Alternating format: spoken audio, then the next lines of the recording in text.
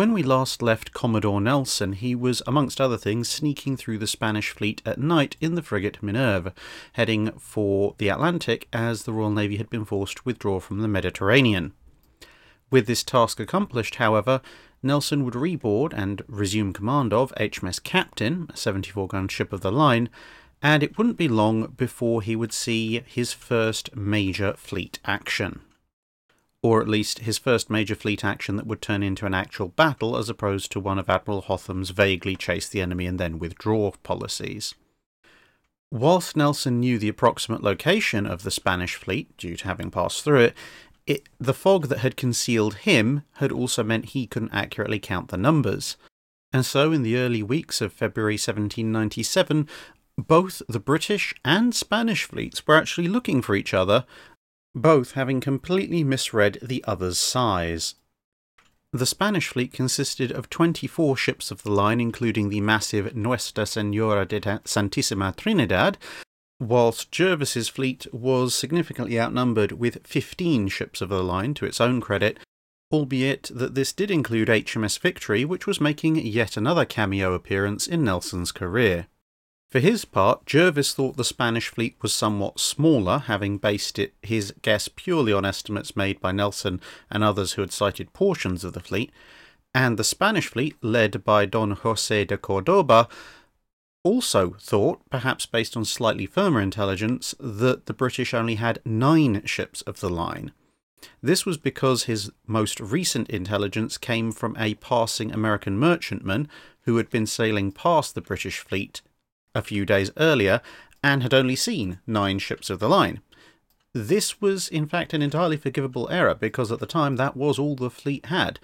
A squadron of five ships under Admiral Parker had been off doing another mission, whilst HMS Culloden had been off chasing a Spanish merchantman or frigate, and so only nine were actually in the battle line at the time. Admiral Jervis, of course, thought that, well, 15 ships of the line against maybe 17 or 18 opponents would be a pretty good fight to have, and Admiral Cordoba definitely thought that 24 versus 9 was excellent odds for his fleet. Originally, the Spanish fleet had been supposed to sail through the Straits of Gibraltar to link up with the French fleet to form a large Franco Spanish fleet, as they would do later on in the Napoleonic Wars, but they'd been waiting in Cartagena for a Spanish convoy, which they could then form a heavy escort for, thus killing two birds with one stone. But with the reports of a very understrength English fleet nearby, Cordoba had decided he was going to make the break for it and try and finish them off first. And so, in the early morning hours of February the 14th, 1797, in what was still a very foggy area, the British fleet heard signal guns coming from the Spanish fleet, so they knew that they were close. Jervis, of course, knew that victory was especially important at this point because, well, they just lost the Mediterranean, and so to lose what had been the Mediterranean fleet as well would be a double blow to British public morale and might even force Britain out of the war entirely. And so, as dawn broke, he ordered his fleet into a single line, as they'd been previously travelling in two columns, and prepared for battle. It was at this point that he discovered that if you included the frigates present on both sides, five on the British side and seven on the Spanish, he was actually outnumbered about two to one. But he had one small advantage. The Spanish fleet was in a much looser formation than his own, and five or six Spanish ships were off in their own little squadron that was trying to rejoin the rest. This, of course, would only be a temporary situation, but for the moment, the Spanish ships of the line were actually, in at least in their main formation, about the strength that he thought they were. And so, with only a few moments to take the decision, he decided to hoist all sail and drive his fleet headlong at the Spanish, trying to get between the two formations to keep them split up. This had one additional advantage in that it meant that the British ships could utilise both broadsides since they'd have targets all around. And so onwards they drove. The larger Spanish force turned towards the British and they passed each other on opposite tacks, blazing away, whilst the portside guns of the British fleet engaged the smaller Spanish squadron. To their credit, the smaller Spanish squadron's commander decided he was going to try something that Nelson would later try himself and break the British line. This would have slowed the British advance completely and allowed the larger Spanish formation to fall on the British from the other side. But as it turned out, despite damage to some British ships that were doing a turnabout to chase after the larger Spanish group, a mixture of incredible discipline by the Royal Navy as well as mutually supporting fire, helped by a series of rapid, heavy broadsides from the various ships, managed to drive the smaller Spanish group back, and they had to content themselves with trying to sail up the other side of the British line to hopefully try and catch up with their fellows. Although this did, of course, mean that the, a large portion of the British line was also bracketed by two squadrons of Spanish vessels. In this particular encounter, victory showed itself to be a superlative sailor once again, as the closest the Spanish actually got to breaking the line was with the Principe de Asturias, but that vessel was cut off by victory, which was obviously quite fast for a first rate, and instead managed to rake the slightly larger Spanish ship twice. The British ships were turning in succession, but this left something of a problem. Jervis's intention and orders were quite clear to engage the larger Spanish force and capture or destroy as many of them as possible. However, with the turn in succession, the Spanish forces were actually now drawing north of the British forces, which gave the opportunity for the smaller Spanish formation to the east to try and join up with the larger Spanish formation to the west, with both formations bearing towards each other. This would have left the British fleet in a single line trying to harry the stern of the Spanish ships, much as the English fleet had had to do to the Armada on its way up the English Channel several hundred years earlier. Commodore Nelson, aboard the Captain, was near the rear of the British line and now faced the eternal quandary of naval officers. Were he to follow the letter of Jervis's orders, he would take his ship around the point of turn along with all the others, and the Spanish fleet would slip away despite Jervis's clear intention to try and capture or destroy them. If, however, he took some other form of action which would fulfill the spirit of Jervis's intentions, he would of course be guilty of disobeying what was technically a direct order to follow in line astern and then turn by in succession. There was one option that Nelson could see. If he put his ship hard about to port, he could basically double back on himself much quicker and try and head off the vanguard of the Spanish fleet. This would interpose himself between the two Spanish forces, which would make it slightly harder for them to join up, and hopefully would also slow them down, thus allowing the bulk of Jervis's forces to overhaul them. Of course, there was this slight issue of the fact that HMS Captain was a single 74 gun third rate, and he would be taking it right into the teeth of some of the largest capital ships on the planet.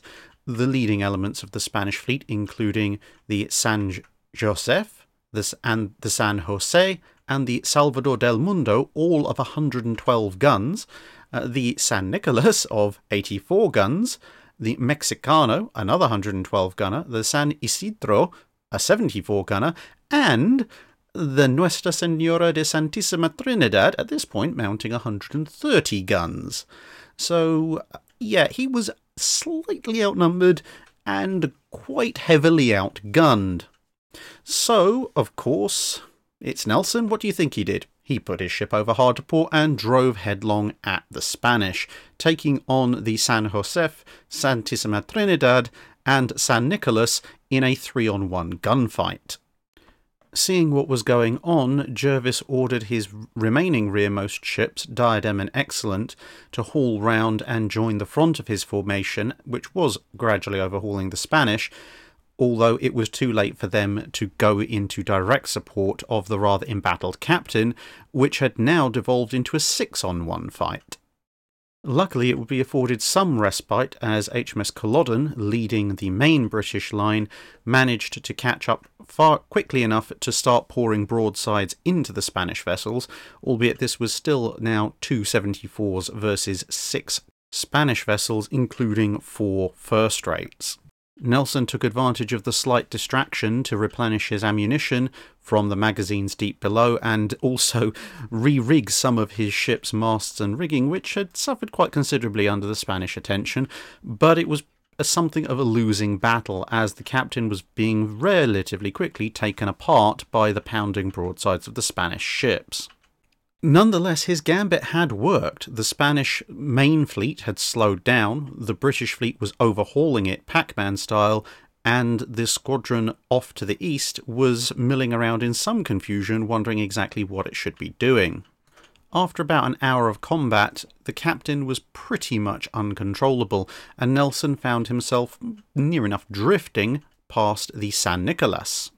He decided there was nothing better for it and ordered what remained of the ship's agility be put into placing captain alongside the San Nicolas and promptly la- launched a boarding action with the uh, slightly odd and definitely upper class battle cry of Westminster Abbey or Glorious Victory, i.e., a, a, tomb in Westminster Abbey if he didn't quite manage the, this particular feat.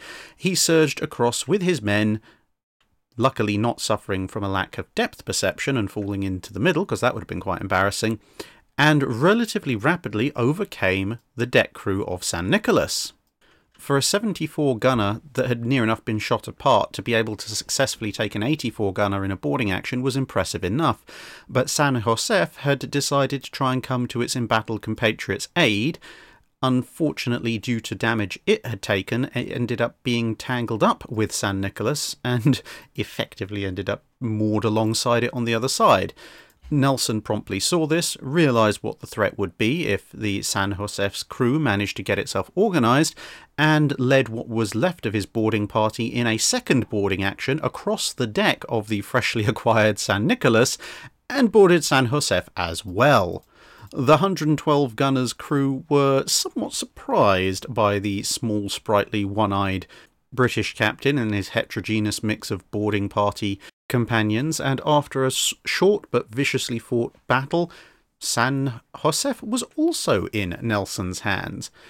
It was traditional in this period for officers of surrendered ships, or indeed on land surrendered forts and towns and armies, to offer their swords to the victorious general, admiral, or in this case, commodore. The scene becoming somewhat comedic as there were so many officers aboard San Josef and San Nicolas that Nelson had to resort to first tucking the swords under his arm and then later handing them off to a nearby assistant because there were just so many of them.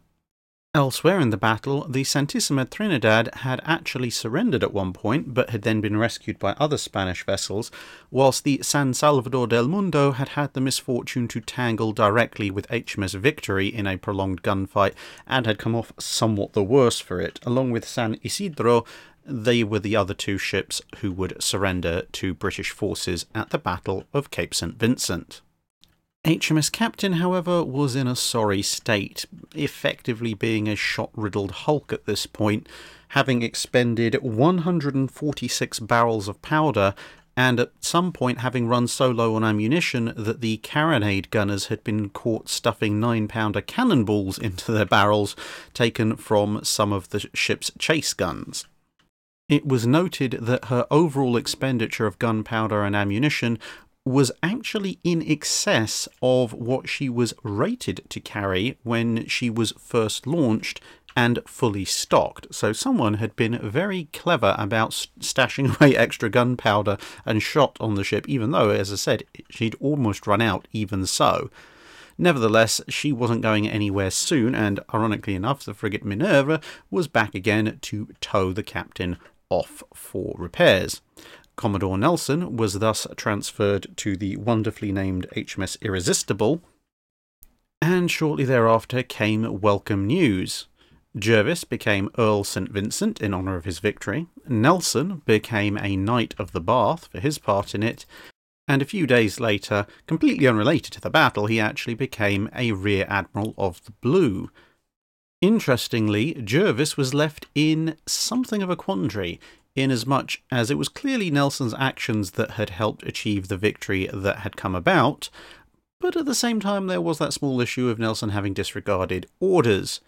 Since Nelson's scheme had worked, it would be inappropriate to reprimand or discipline him, so Jervis decided to compromise by obviously not reprimanding Nelson, but also by not including him in the official account of the battle in any significant detail.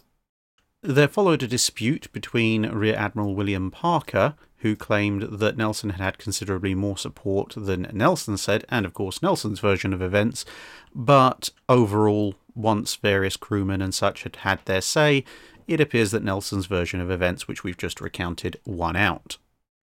Rear Admiral Nelson would now be transferred to HMS Theseus as a more permanent command and would be ordered to take charge of the inner squadron, i.e., the one closest to the target, during the blockade of Cadiz, blocking in many of the Spanish ships that had escaped from the Battle of Cape St. Vincent.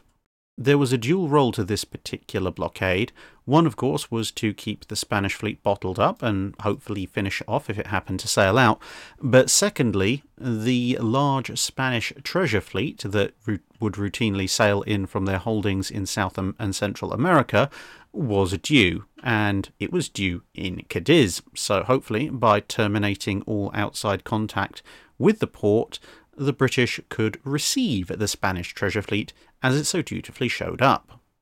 Admiral Jervis, or I suppose as we should now call him Earl St. Vincent, knew exactly the kind of man he'd put in charge of the blockading squadron, and he had no illusions that Nelson was going to simply sit outside Cadiz and wait for the Spanish to do something, and so he issued the following order.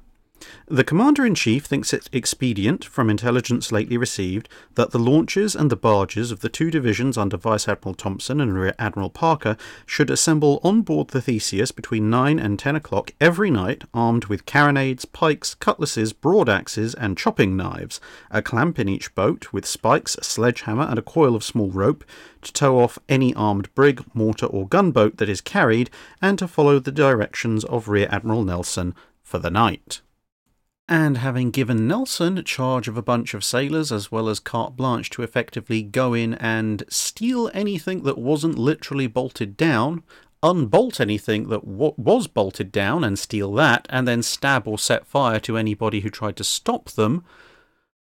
It can hardly come as much of a surprise that shortly thereafter, Nelson was found with a bomb vessel, the Thunder, sneaking up to the walls of Cadiz, despite its fortifications and many guns, along with several boatloads of very angry sailors, with the whole formation then proceeding to lob mortar shells into the embattled city until something happened. What happened was a large portion of smaller Spanish craft, mortar vessels, gunboats, and the like, came surging out to meet them.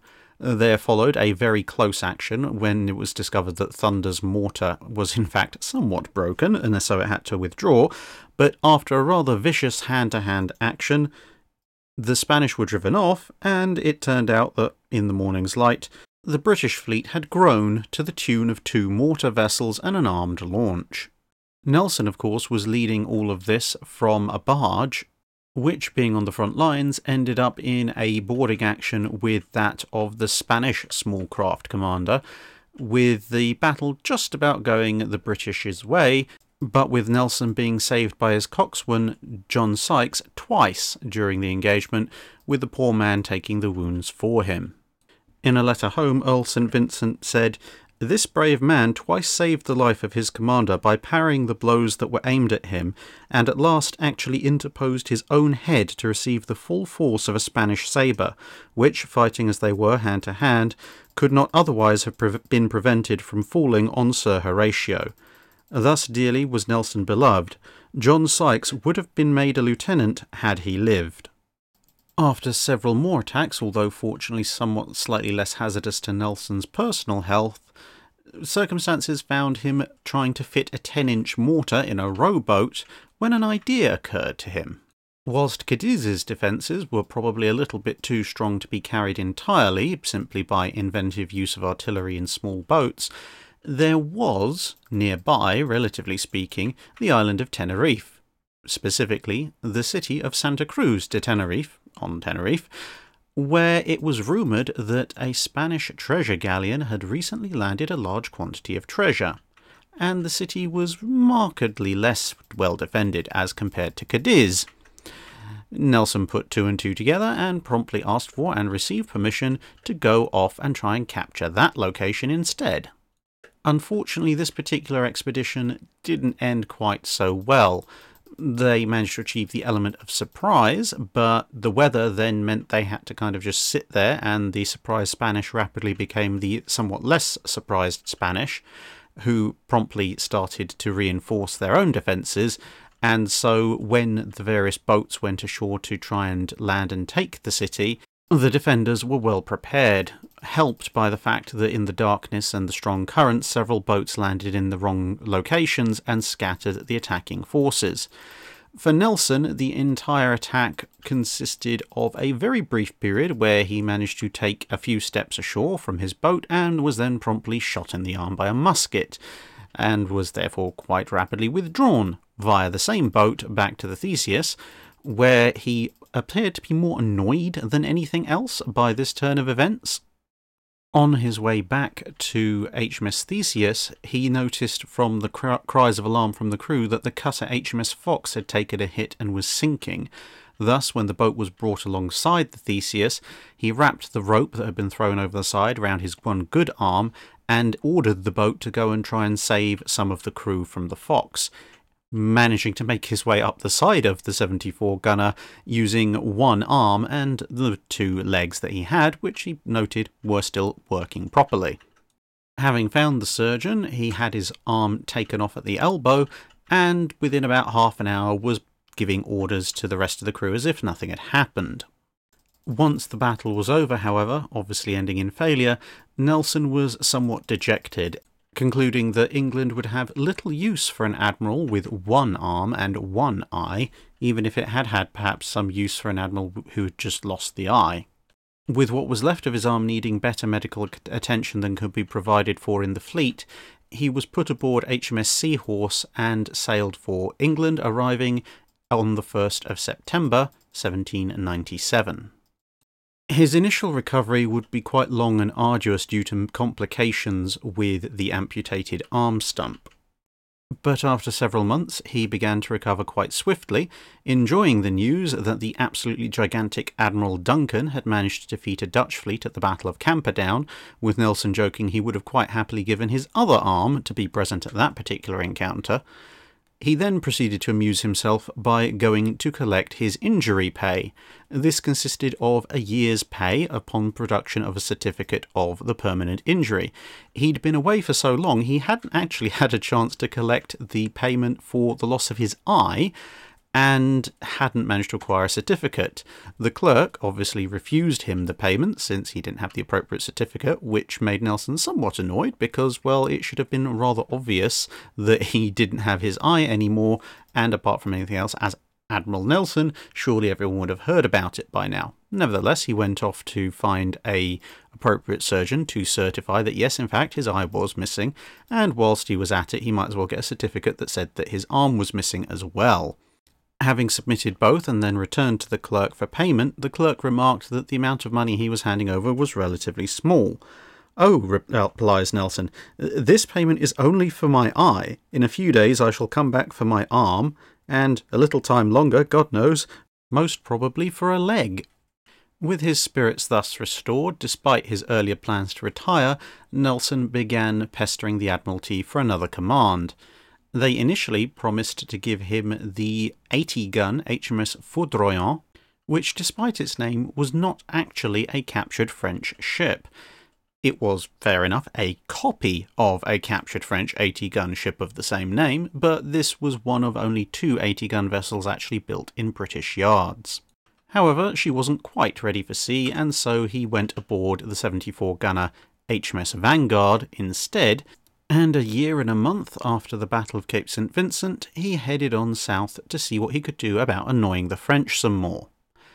Earl St. Vincent had been present in the theatre the entire time, and whilst Vanguard was initially dispatched to Cadiz to continue the blockade duties, he was very rapidly dispatched further by St. Vincent onward to Toulon to go and specifically annoy the French rather than the Spanish.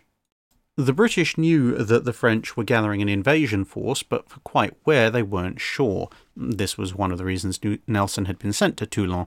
However, on the way, the squadron was hit by quite the storm and scattered. whilst he was trying to recover all his ships back into some kind of usable formation, the French invasion fleet sailed, and thus Nelson showed up off of Toulon to discover it was practically empty of any significant sized vessels. Nelson then started a search, first looking off the Italian coast and finding nothing, then heading down to Malta to find that the island had surrendered to the French invasion fleet before it had moved on. And after discussions with his fellow officers, Nelson decided that it was probable the French were heading to Egypt, which indeed they were. Nelson promptly set off for Egypt, but ran into something of a misfortune as the French fleet, of course, included troop transports, which were not particularly swift, and thus in the age before, well, any form of particularly advanced navigational instrument beyond clocks and sextants, he actually unknowingly overhauled the French invasion force with his own swifter warships, arriving off Alexandria to find not much. Somewhat perturbed, he then went off to look up the Syrian coast to see if perhaps the French had gone there, and two or three days after he'd left the Egyptian coast, the French showed up and promptly invaded. Nelson, of course, knew nothing of this and headed back to Italy, well, Naples to be precise, because, well, Italy as a whole didn't exist yet, restocked his fleet and began the search again, eventually coming across a French merchantman that gave him some clue as to where the French might be. So he headed back to Alexandria, found it empty again, but now that the country was quite clearly under a certain amount of French control, he wandered up and down the Egyptian coast until, at the beginning of August 1798, he found the French fleet at last, sheltering in Aboukir Bay. The French admiral, Brueys, had anchored his ships quite close into the shoals and prepared to with stand an assault from outside. In this, he had reason to be relatively confident. The gap between his ships and the shoals was very narrow, and the waters were pretty treacherous and shallow, all told. Although he had one less ship of the line compared to Nelson, all of Nelson's ships were third rates of 74 guns, except for HMS Leander of 50 guns whereas the French forces included a number of 80 gun ships, had considerably more frigates than Nelson, and of course the flagship, L'Orient, was a massive 120 gunner, thus giving Brueys a considerable firepower advantage. As the French forces had not been expecting Nelson to show up quite when he did, a large number of their men were ashore within shore parties setting up defences and trying to generally assist Napoleon's invasion. Brueys had to pull in crew from various French frigates to try and bulk up the numbers of his own ships. And when he gave an order to sail, he was informed that his ships could probably sail or man the guns, but not both, as a significant portion of men were still ashore he decided that his defensive position was probably the stronger element of his fleet, and so he decided to man the guns and remain relatively stationary while he waited for men to come back. Nelson, meanwhile, slowed his fleet down so that it could assume a proper formation, and Brueys concluded that since this was happening at about four o'clock in the afternoon, that the British would probably be willing to wait to fight until the following day, by which point he would have had all of his men aboard. Nelson was quite confident of a victory, having already planned how to encounter the French fleet. Specifically, he planned to split his forces to envelop the French fleet from either side, thus allowing him to put broadsides into both sides of the French forces, kind of in a reverse of what Jervis had managed to pull off at Cape St. Vincent, with Nelson reasoning that the superior rate of fire that British gunnery afforded him would mean that by engaging a single French ship with two or three of his own, it would very quickly be battered into submission, despite the fact that the French vessel would be able to fight all of its guns at once. Of course, he hadn't quite counted on the shoals and shallows of Aboukir Bay, but still, the plan went into effect pretty quickly. As the action was to take place at night, the British ships raised multiple flags, including an illuminated white ensign to make sure that their own side knew who they were, and the ships closed in. It was here that the spirit of free thinking that Nelson encouraged, as well as giving general plans out well before a battle, came into its own, as HMS Goliath, near the front of the British line, noticed a small error in the French deployment. The lead ship, Guerriere, was in fact slightly further away from the shoals than would otherwise have been good for perfect defence, and so, despite the British fleet initially planning to run down one side of the French fleet since the shoals were considered too much of a danger, Goliath's captain decided on his own initiative to cut into this gap left in the French defences, rapidly followed by Orion, Theseus, Audacious, and Zealous. Poor old HMS Culloden took the turn a little bit too tightly and ran aground, but would then serve as a useful marker for everybody else. Meanwhile, Nelson aboard Vanguard, along with Minotaur, Defence, Bellerophon, Majestic, Alexander, Swiftsure, and Leander, began making their pass down the outside of the French forces. On the inside of the line, the French frigate Sérieuse made a rather serious mistake. There was a standing naval convention that frigates stayed out of the ship of the line combat, and in turn, the ships of the lines would leave the frigates alone, at least during the main fight. However, Sérieuse decided to take a few pot shots at HMS Orion under Captain Saumarez as it came round the corner, and, well, having voided its own protection, Captain Saumarez was all too happy to return the favour, waiting until Orion got to within point blank range before effectively devastating the Sérieuse with a single massive salvo. The majority of the British fleet was now bracketing the French vanguard and very rapidly taking apart Guerrier, Conquérant, Spartiate, Aquilon, and Peuple Souverain. The French centre of Franklin, L'Orient, and Tonnant were being engaged by some drifting British vessels that had missed their station, but L'Orient, despite being stationary, was still a fearsome opponent, and a 120 gunner versus a 74 gunner was always going to be an unequal contest, as the poor old HMS Bellerophon rapidly discovered, being set adrift by repeated battering from L'Orient's guns. The British vessels were now putting down their own anchor cables with springs attached, allowing them to rotate their ships to bear on various targets, with vessels switching targets as and when their initial quarry struck its colours.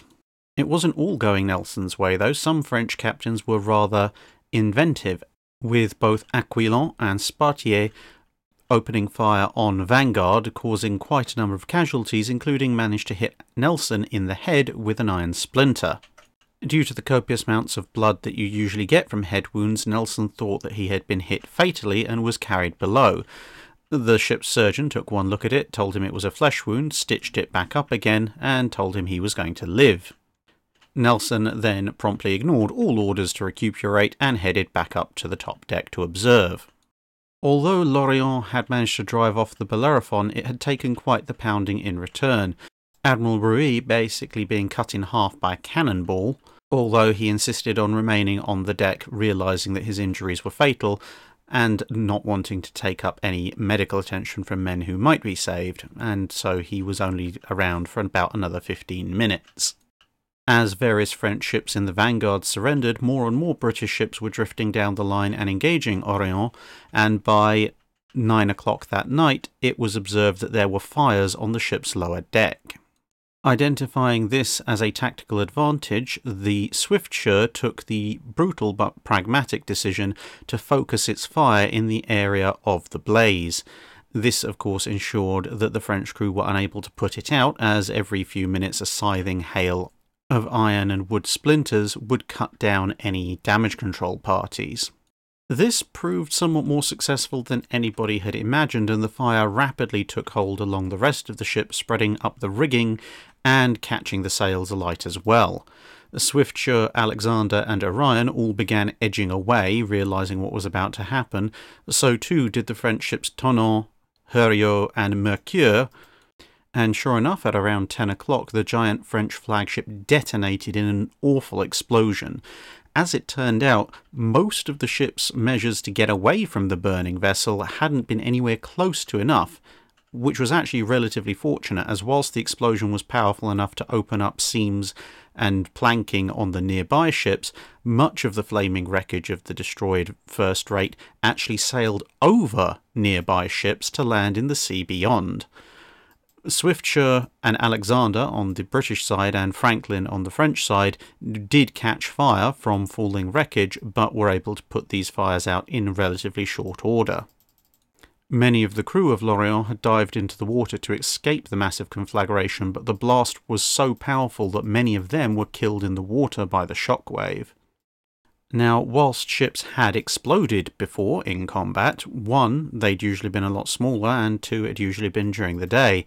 The sight of a massive 120 gun first rate going up in flames in the pitch darkness of the night, followed by the titanic explosion of its main magazines, actually shocked both sides into complete silence, with the fighting stopping dead for about 10 minutes. As the three ships that had been set on fire by the wreckage fought to extinguish those blazes, Ships from both sides lowered boats to try and rescue survivors, with Nelson ordering that boats be sent from Vanguard to try and rescue some of L'Orient's remaining crew. However, the lull in the battle was broken by the French vessel Franklin firing on HMS Swiftsure, and rapidly firing grew in intensity, and the battle was rejoined once again. But by midnight, it was pretty much all over, with only the Tonnant continuing to offer resistance as the French ships in the rear of the formation, led by one Pierre Villeneuve, a name that we will come to know and recognize a little bit later on in Nelson's life, had basically sat and watched everything happen. Some scattered fighting occurred in the morning as Villeneuve managed to extract a few surviving ships and sail out into the Mediterranean, although between ships destroyed and captured, the French fleet had been reduced from 13 ships of the line and four frigates to two ships of the line and two frigates, with two vessels destroyed and nine captured, along with two frigates that had basically been totaled. There was an odd sort of aftermath to it as Nelson's dispatches talking about the success were placed aboard the 50 gun Leander, which was sent home, but Leander lost a fight with one of the two surviving French ships of the lines shortly thereafter and was captured. Thus, it took a little bit of a while for news of this victory to get home aboard the frigate Mutineer.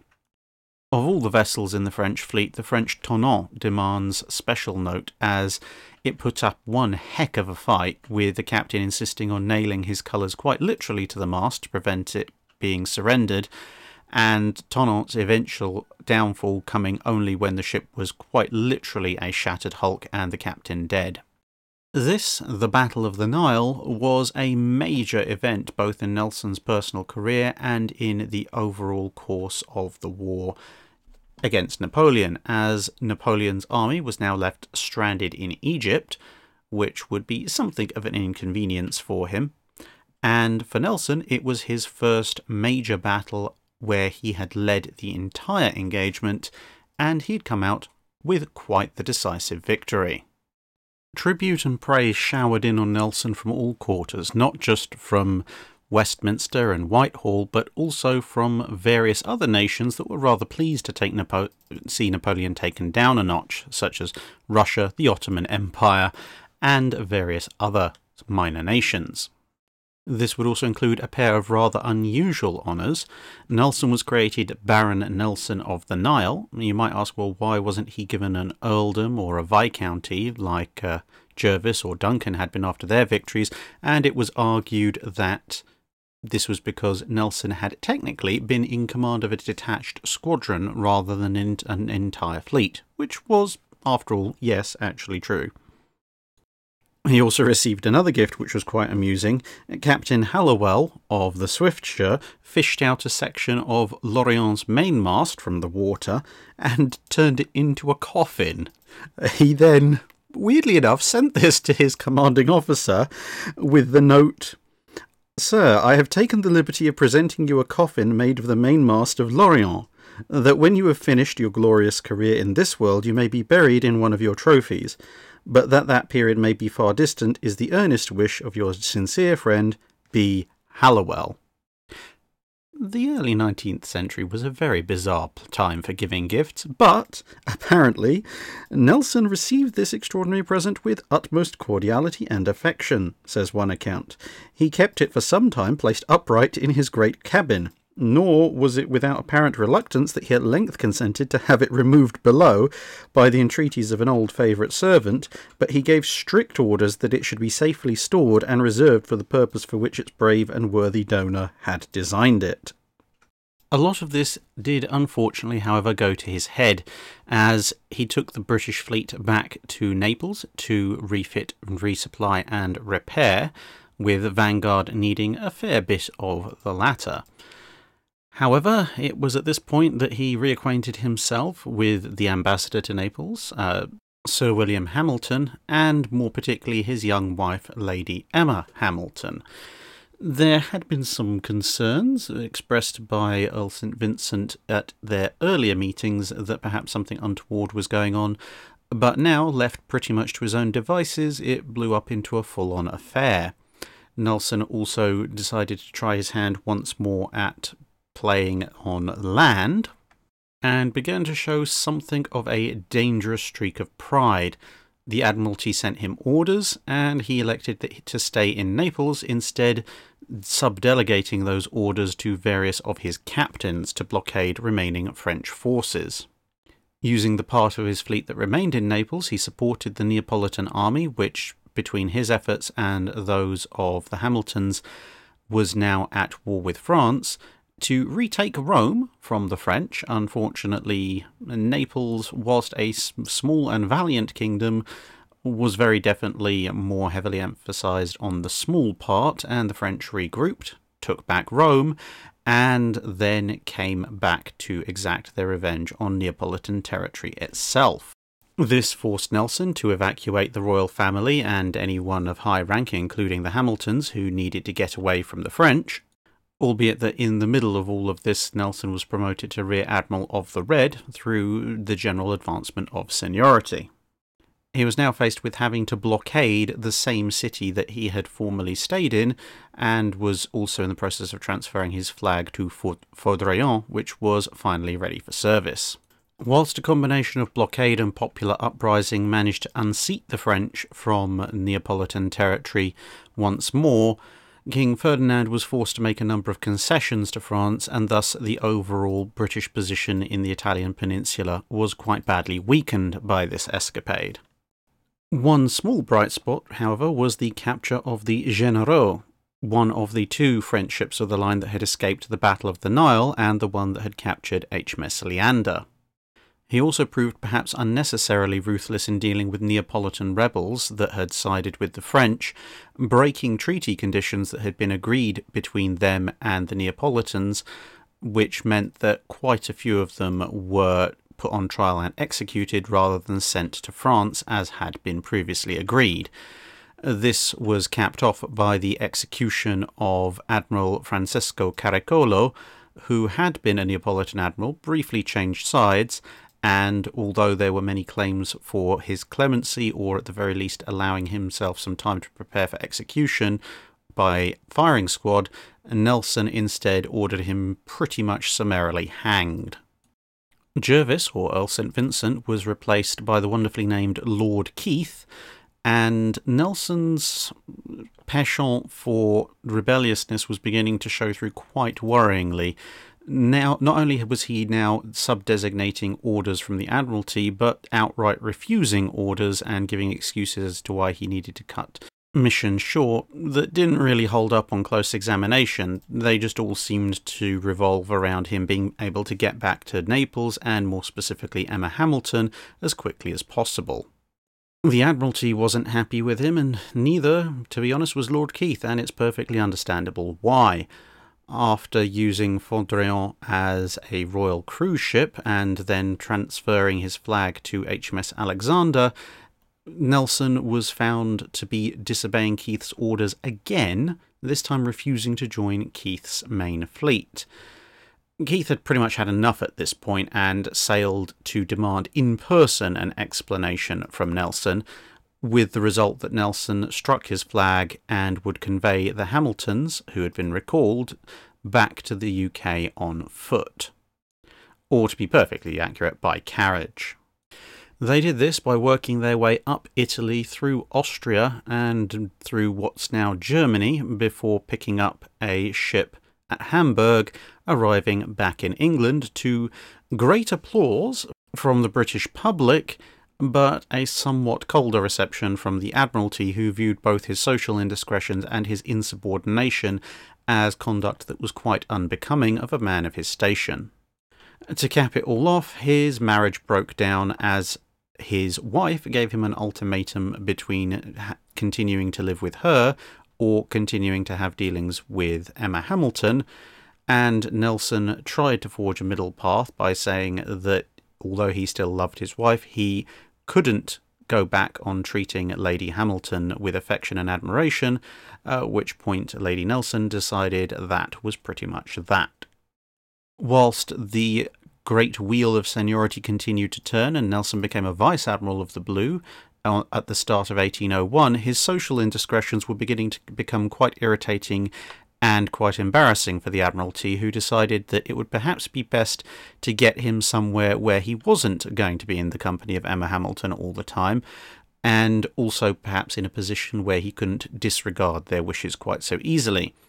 So he was instructed to raise his flag aboard HMS San Josef, that would be, yes, the one that he'd captured at the Battle of Cape St. Vincent, and put under the command of Earl St. Vincent as part of the Channel Fleet.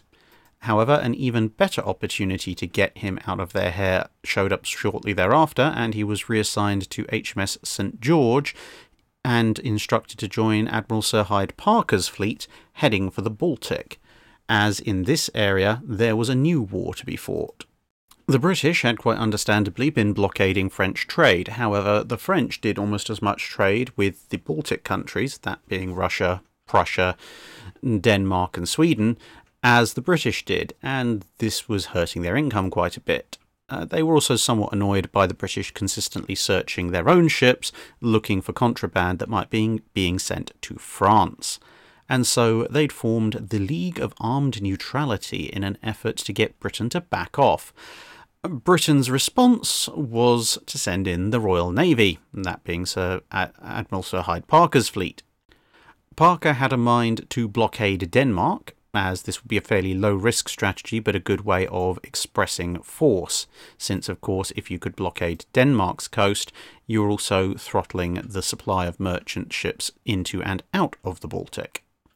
But in a move that will come as a shock to precisely nobody at this point, Nelson had a somewhat more aggressive strategy in mind. He wanted to take the fleet in and attack the Danish fleet directly in their harbour at the capital of Copenhagen. While Nelson's social strategies may have been somewhat wanting, his tactical strategies remained sound, and he managed to persuade Parker to allow him to sail in with a portion of the fleet, whilst Parker would stay further back and cover against any possible intrusion by other fleets from the League of Armed Neutrality, more particularly the Swedish and Russian fleets, since, with the best will in the world, the Prussian fleet wasn't up to all that much. Whilst the Danish fleet in general was not really that capable of sailing out into battle, more from its material condition and lack of immediate training than from the fact that they their smaller ships would have been heavily outnumbered and outgunned by the British, they did, however, command a fairly strong defensive position. Unlike the French at the Battle of the Nile, there was no way of doubling in behind them, and even if they did, well, the Danish had quite the shore battery waiting for them as well. So this fight would have to be in some ways like the Nile, but also a lot worse for Nelson as he would have to face both concentrated shore battery fire and the Danish fleet, all from a single line. In order to command the action more closely, he transferred to the 74 gun HMS Elephant as his flagship, the second rate St. HMS St. George of 98 guns was considered a bit too large and carrying a bit too much draft to be able to safely manoeuvre in the shallow waters outside Copenhagen. Faced with this situation, Nelson's plans therefore evolved. Unlike the Nile, the strategy would be somewhat simpler but also somewhat more complicated, if that makes any sense. The idea was for the British fleet to sail in line formation down the outside of the Danish fleet, with the lead British ship putting its anchors down as soon as it came opposite one of the Danish vessels. Then the rest of the fleet would sail round it with the next vessel in line coming across the second Danish ship and dropping its own anchors, and so on and so forth as they rolled down the line. This was considered a superior option to sailing to perfectly match the Danish fleet and then dropping anchor, as it meant that the first British ship would engage a single target and could be supported by the rest of the fleet as it came past, as opposed to having to engage multiple fresh ships as it sailed on down the line. And this, of course, would repeat all the way down the British line if they went with a more conventional tactic. Thus, every vessel as it anchored would be supported by its fellows until the entire line was engaged. The Danes, for their part, had not only reinforced their shore defences and their anchored ships, but had also constructed a number of low lying floating batteries which the British had missed in their initial reconnaissance. This battle started relatively badly for Nelson, as the Danish fire was considerably heavier than expected for the reasons mentioned above, and the Danes themselves proved to be quite the tenacious fighters, sticking to their guns, in the words of one officer, long after we should have anticipated a Frenchman to have given up his ship the fact that HMS Russell, HMS Bellona, and Nelson's old favourite HMS Agamemnon all managed to run aground in the Channel, thus removing three ships of the line from Nelson's formation, which was only 12 strong to begin with, also didn't help matters. And so began what can only be described as a naval battle of attrition, with really only the heavier firepower of the individual British ships advantaging them all that much against the Danish vessels, with a number of possible disasters only averted thanks to the superior seamanship and cooperation of the battle hardened Royal Navy, allowing it to mutually support against Danish positions and ships which were pressing their corresponding numbers particularly hard. Further out into the harbour, Admiral Parker could see three of Nelson's ships flying flags of distress after having gone aground, and could also see that the action hadn't resolved itself particularly in favour of one or side or the other. He also knew that the fleet's standing orders, and indeed the Royal Navy's standing orders, called for any commanding officer to do their utmost against the enemy once action had been joined, and he was worried that perhaps Nelson was fought to a standstill or perhaps even losing, but didn't feel that he could withdraw without orders from a superior officer. And so he told his flag captain, I will make the signal of recall for Nelson's sake. If he is in condition to continue the action, he will disregard it. If he is not, it will be an excuse for his retreat, and no blame can be imputed to him. Meanwhile, an account from within the Nelson's force goes as follows, and with apologies to any Danish listeners. About 1 pm, few, if any, of the enemy's heavy ships and prahms had ceased to fire. The Isis had greatly suffered by the superior weight of the Provesteen's fire, and if it had not been for the judicious division of it by the Desiree, Captain Inman, who raked her, and for other assistance from the Polyphemus, the Isis would have been destroyed. The monarch was also suffering severely under the united fire of the Holstein and Zealand, and the Elephant was warmly engaged by the Dannebrog, and by two heavy prahms on her bow and quarter. Signals of distress were on board the Bellona and Russell, and of the inability from the Agamemnon. The contest in general, although from the relaxed state of the enemy's fire it might not have given room for much apprehension as to the result, had certainly at 1 pm not declared itself in favour to either. About this juncture, and in this posture of affairs, the signal was thrown out aboard the London for the action to cease. Lord Nelson was at this time, as he had been during the whole action, walking the starboard side of the quarter deck, sometimes much animated, and at others heroically fine in his observations. When the signal was made, the signal lieutenant reported to him. He continued his walk, and did not appear to take notice of it. The lieutenant, meeting his lordship at the next turn, asked whether he should repeat it. Lord Nelson answered, No, acknowledge it. On the officer returning to the poop, his lordship called after him, Is number 16 still hoisted? The lieutenant answering in the affirmative, Lord Nelson said, Mind you keep it so. He now walked the deck considerably agitated, which was always known by his moving the stump of his right arm. After a turn or two, he said in a quick manner, do you know what's shown on board the Commander in Chief, number 39? On asking what that meant, he answered, Why, to leave off action. Leave off action, he repeated, then added with a shrug, Now damn me if I do. He also observed Captain Foley, You know, Foley, I have only one eye. I have a right to be blind sometimes. And then, with an archness peculiar to his character, Putting the glass to his blind eye, he exclaimed, I really do not see the signal. This remarkable signal was therefore only acknowledged on board the Elephant and not repeated. The action now continued with unabated vigour. About 2 pm, the greater part of the Danish line had ceased to fire. Uh, the taking possession of such ships as had struck was, however, attended with difficulty, partly by reason of the batteries of Amak Island protecting them, and partly because an irregular fire was made on our boats as they approached from the ships themselves.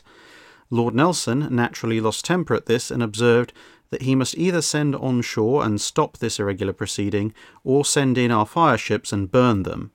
He accordingly retired to the stern gallery and wrote with great dispatch that well known letter ad- addressed to the Crown Prince, with the address to the brothers of Englishmen, the brave Danes, and in order to show that no hurry had ensued upon the occasion, he sent for a candle to the cockpit and affixed a larger seal than usual. This letter was conveyed on shore through the contending fleets by Captain Sir Frederick Thesiger, who had acted as his lordship's aide de camp and who found the prince near the sally port. While the boat was absent, the animated fire of the ships ahead of us and the approach of two of the commanders in chief's division, the Ramillies and Defence, caused the remainder of the enemy's line to the eastward of the Trekroner to strike. The firing from the Crown Battery and from our leading ships did not cease until past three o'clock, when the Danish Adjutant General Lindholm, returning with a flag of truce, directed the fire of the battery to be suspended. The signal for doing the same on our part was then made from our ship to those engaged, and the action closed after five hours' duration, four of which were warmly contested. The firing by ostensibly surrendered vessels on incoming British boats was probably a result of some poorly trained or excitable crew, but was a fairly flagrant breach of the rules of war, hence Nelson's threat to set fire to everything, crew being on board or not.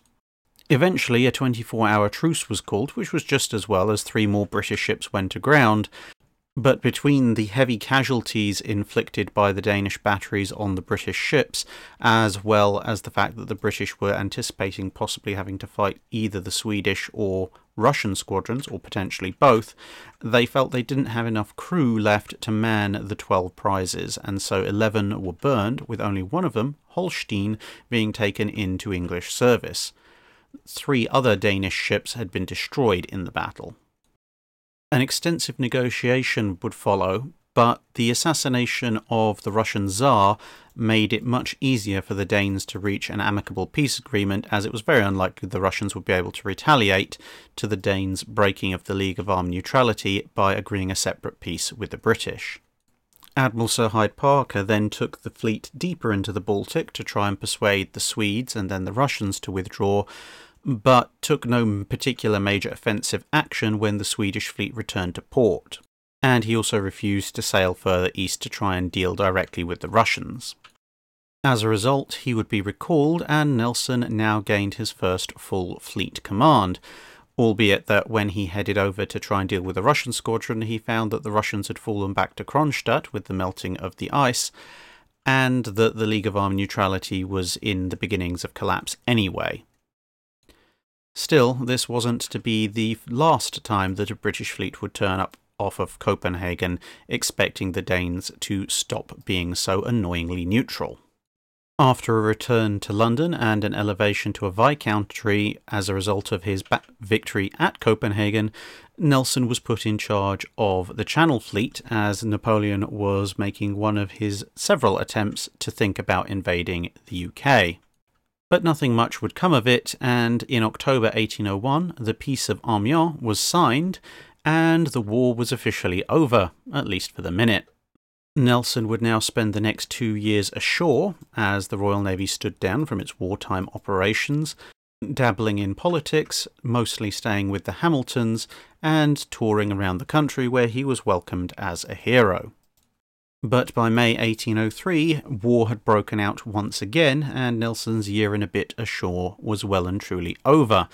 He would now be granted his first full commander in chief position, that of the Mediterranean Fleet, and would head south to Portsmouth, where he would board a ship that had been his shadow throughout his naval career, from the first days of his lieutenant's training through battles such as the one at Cape St. Vincent. Yep, it was HMS Victory, the great first rate ship of the line. His orders were to blockade the French fleet at Toulon and prevent them from joining up with the Spanish fleet and thus threatening the English coast with invasion once again. But that is where we will leave Admiral Nelson as he heads out to Toulon aboard the Victory with the rest of his fleet, as this would be the beginning of the campaign that would culminate with the Battle of Trafalgar, which will be part 3 in this look at Nelson's life. That's it for this video. Thanks for watching. If you have a comment or suggestion for a ship to review, let us know in the comments below.